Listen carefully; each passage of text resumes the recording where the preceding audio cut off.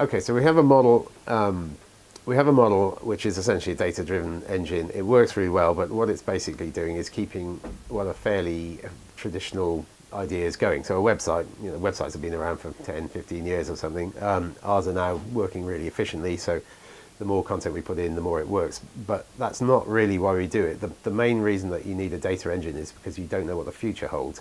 And the future is digital, and, and you know, just get over that. Um, but essentially, every single day, somebody out there has either invented a new thing or they've invented a new thing a while ago, and all of a sudden somebody's come up with a new way of using it. So um, I'm trying to think of an example, but if you look at all the things that you could do on a mobile phone, there are probably 20 ways of using it that you just never thought of before it was invented. And that's the thing that you need digital to, to be able to respond to, is not what you think, not what you're making better and better and better because it's what you've always used to. So not a horse and cart that you make faster and faster and faster, but what happens when a car comes along.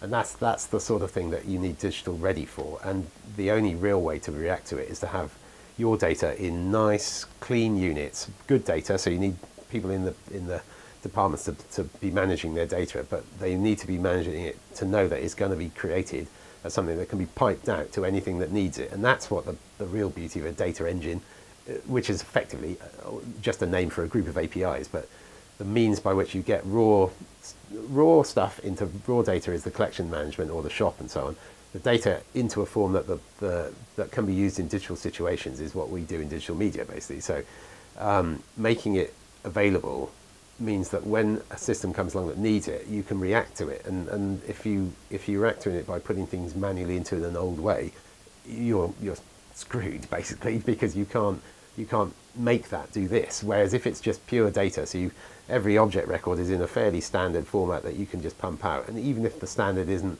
isn't a, a full you know, um, collections type standard. It is in a portable standard, and that portable standard can be uh, put through some form of translation software that will say, uh, just literally a plugin, really. So if it, if it comes out and that author feels there, but this thing needs to display over there because it's coming off the back of a new type of camera, then fine, that's good. Here's our data, you give it to that, and whoever develops that software for that type of camera can just say the fields you're talking about match to this field and so on. But if you don't have that engine that serves up your data, then you've got to rewrite your software every time you start, and that, that that's the, the, the problem with not doing it. So you have a, a, layer of applications with, with data in under here, and you have a whole lot of services that you want to deliver, but there's a thing in the middle, like a services layer, if you want to put it in IT terms, and that's the bit that needs to, that your organization has to own, it has to develop, and it has to make sure that it controls, because any one of these systems, you might decide that you just don't like it anymore. It doesn't do what you need for this job it does in here. So if it's a, say it was a till system and, and the whole concept of tills went out the window because everyone buys it on their phone or something, then you might not even need that system anymore because you don't need a printer system because nobody prints anything because they just show you a phone with a, something on it or they tweak it by some sort of connector. You just unplug that system, but this system is still there. So if anything else comes in that you didn't predict, so there's a new bit of data that you have to produce for, I don't know, 3D modeling or something like that, 3D modeling repository, there's a new standard that suddenly appears that makes 3D fractalization possible. Let's just imagine it can happen. It probably won't, but say it does.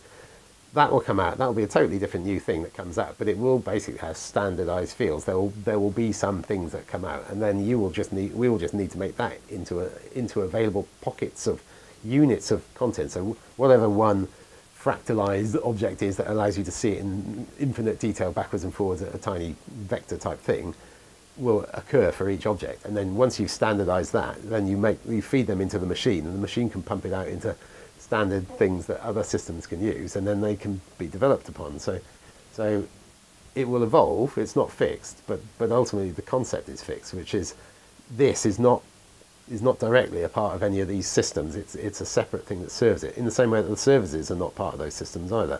So this service, in order to get your information, you know, you can build what you like, but when it needs that data, it comes from here, and that's that's broadly the model that works. And you can drop the services in the same way that you can drop the systems, but you can't drop the engine.